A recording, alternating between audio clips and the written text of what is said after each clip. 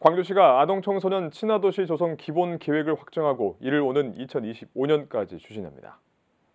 이에 따라 아동 청소년 정책 참여 확대와 감염병 예방 교육 강화, 안전 통학로 조성 등을 중점으로 3대 분야 10대 중점 과제가 시행됩니다.